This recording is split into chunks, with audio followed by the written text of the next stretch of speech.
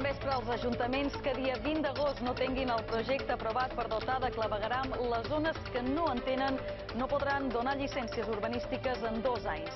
Això és el que ha volgut recordar avui el director general de Territori, Lluís Corral, als consistoris afectats a través de la FALI. Actualment, 16 municipis dels aproximadament 48 afectats han iniciat els tràmits dins el termini corresponent. 7 a Menorca, una a Eivissa i 8 a Mallorca. Els constructors de les illes presents a la reunió demanen al govern flexibilitat en el termini d'aquesta moratòria. Des de l'executiu mantenen la negativa d'ampliar aquesta disposició de la llei d'avaluació ambiental.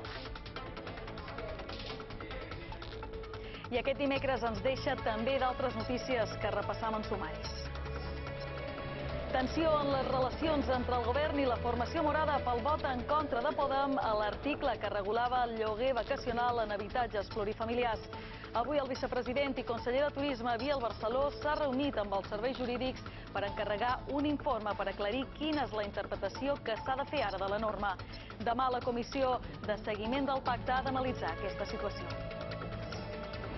I l'aeroport de Palma posa en funcionament un pàrquing gratuït durant els primers 15 minuts per la recollida de passatgers. L'objectiu és descongestionar el trànsit. Hi ha 84 places disponibles. En total, Son Sant Joan ofereix 6.500 places d'aparcament. L'Ajuntament de Palma compartirà campanyes de civisme i normativa en els canals de comunicació tant de la ciutat com dels països emissors.